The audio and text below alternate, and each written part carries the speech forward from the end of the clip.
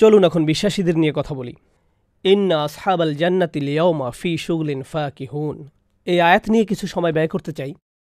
এই বিষয়ে কোনো সন্দেহ নেই জান্নাতবাসীরা। আল্লাহ আমাদের এবং সকল মুসলমানদের জান্নাতবাসী করুন।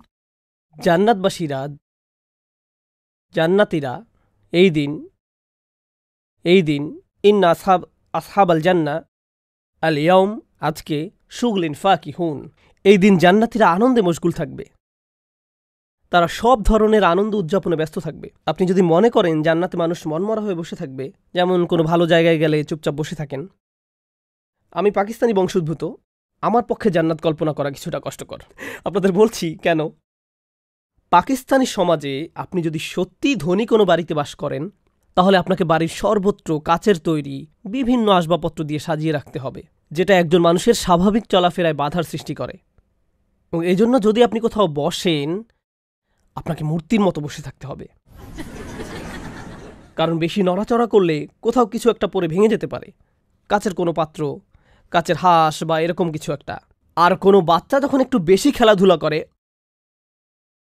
ও যদি দেখতেন মা কীভাবে বাচ্চার দিকে অগ্নিদৃষ্টি নিক্ষেপ করে।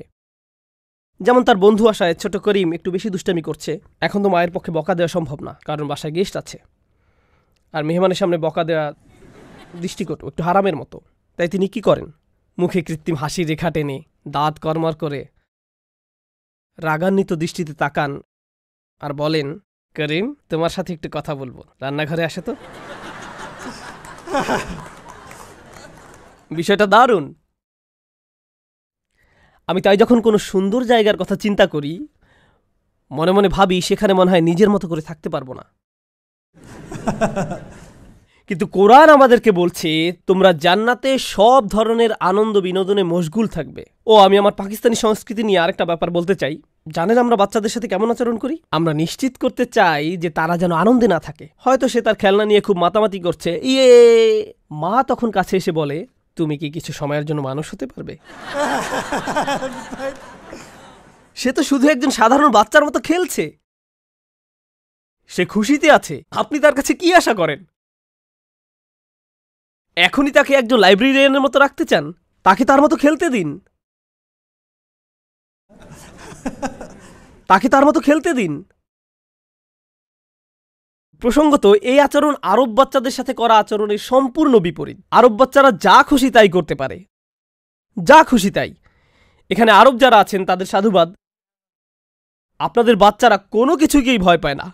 কোনো কিছুকেই না। কোনো কিছুকেই না। আপনি যদি কোনো আরব বাচ্চাকে গিয়ে বলেন, আমি তোমার বাবাকে বলে দেবো কিন্তু। সে তখন বলবে, ও, তাই? এই যে তার নাম্বার নেন। যান, বলেন। তাদের কাছে এটা কোনো ব্যাপারই না। যাই হোক যাই হোক, আমাকে আসল আলোচনায় ফিরে আসতে হচ্ছে। এদিন জান্নাতিরা সব ধরনের আনন্দে মশগুল থাকবে। সুগুলিন ব্যস্ত কার্যকলাপে মেতে থাকবে। আড্ডা দিবে, ঘুরতে যাবে। এখানে পার্টি করছে, ওখানে খেলাধুলা করছে ফা কি হুন চরম খুশি থাকবে, হাসবে, তাদের জীবনের সেরা সময় কাটাবে। ফাকিহা শব্দের আসল অর্থ হল ফল, সুস্বাদু ফল।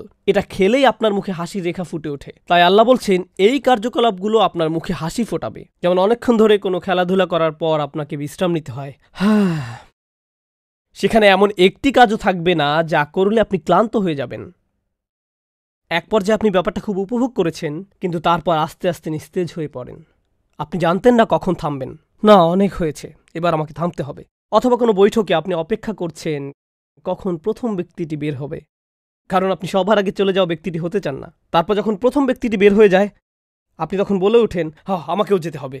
কিন্তু জান্নাতে মানুষ শুধু পার্টি করতে থাকবে, আর তারা কখনোই বিরক্ত হবে না। শুধু সুখ আর সুখ। ফি সুগলিন ফা কি হুন কেন? কারণ তাদের আমল নামাকে উপেক্ষা করা হয়েছে। নাকতুবু মা কদ্দাম ও আসা রহম জান্নাতের মানুষদের সম্পর্কে আল্লাহ কি বলেছেন? হিসাবে তার হিসাব সহজ করা হবে। আল্লাহ এমনকি তার আমল নামার প্রতিটি আইটেমও চেক করবেন না। দুনিয়াতে মৌজমাস্তি করে মানুষ ক্লান্ত হয়, কিন্তু জান্নাতে এমনটি হবে না। আল্লাহ বলেন, হুম ও আজুয়াজু হুম ও ও, এই অংশটা বড়দের জন্য। তারপর আমি কিছুটা বর্ণনা করছি।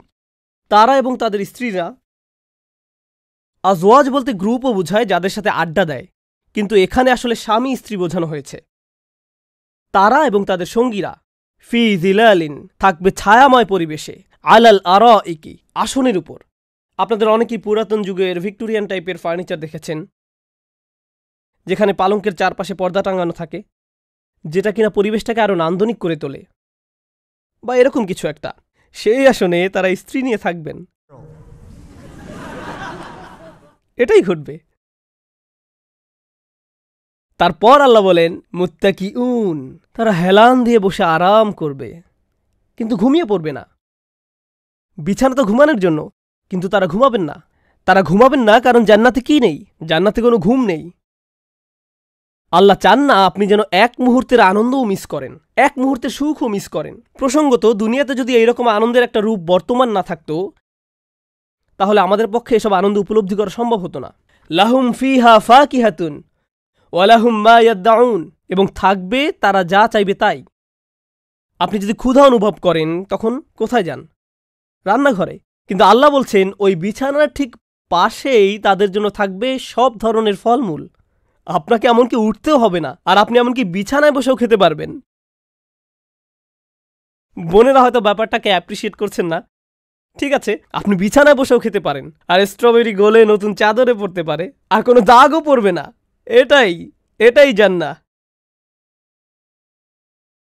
আমি জান্নাতে এটাই চাই। আমি বিছানায় বসে খেতে চাই। আর আমি এমন ফল খেতে চাই, যা থেকে প্রচুর রস নির্গত হবে। আমি এমন করে চাদরে হাত মাখাবো।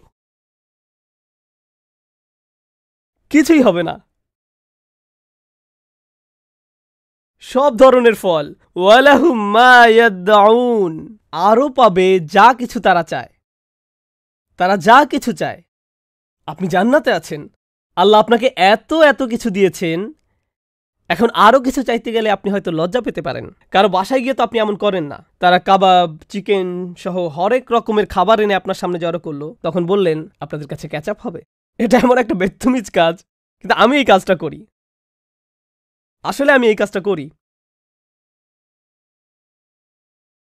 অসমীচীন কাজ, কিন্তু জান্নাতে এমন কোনো দ্বিধাদ্বন্দ্ব থাকবে না। আপনি আল্লাহর কাছে চাইতে পারেন? ইয়া আল্লাহ, আমি ভাবছি আপনি একটা আয়াতে পাখির গোষ্ঠীর কথা বলেছিলেন। আমি কি একটু ওইটা হ্যাঁ অবশ্যই। এই যে, আপনার সামনে এসে হাজির হয়ে গেল। এভাবেই আপনার সেবা করা হবে। আপনি সব কিছু চাইতে পারেন। সাথে সাথে এসে হাজির হবে। আপনাকে রুম সার্ভিসে কল দিতে হবে না। জিরো বা এমন কিছু। এটাই জান্নাতের দৃশ্য। এরপর ব্যাপারটা অসাধারণের উপর আরও অসাধারণ হয়ে উঠল। এত এত সব নিয়ামত। এই একটি নিয়ামতের কাছে ম্লান হয়ে পড়ল। সালামুন কৌলাম্মির রব্বির রহিম। অসীম দয়ালু রবের পক্ষ থেকে বলা হবে সালাম, শান্তি। প্রসঙ্গত এখানে বলা হয়নি আসসালাম।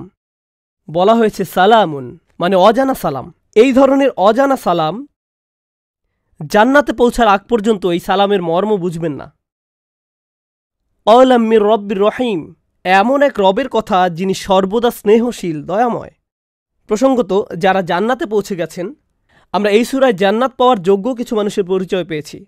নবী রাসুলরা, তাদের কিছু অনুসারী, যাকে হত্যা করা হয়েছিল। মনে আছে তাদের কথা? তারা কি সহজ জীবন পার করেছিলেন নাকি কঠিন জীবন? তাদেরকে অতিক্রম করতে হয়েছিল খুবই কঠিন এক জীবন। আর আল্লাহ বলছেন, তিনি সব সময় ছিলেন রব বিন রহিম। এমন এক রব যিনি সব সময় দয়ালু এবং স্নেহশীল ছিলেন। তিনি তাদের জন্য তাদের জীবনের সকল কঠিন সময়গুলোকে সহজ করে দিয়েছিলেন। এমনকি দুনিয়াতেও তিনি তাদের পথ সহজ করে দিয়েছিলেন।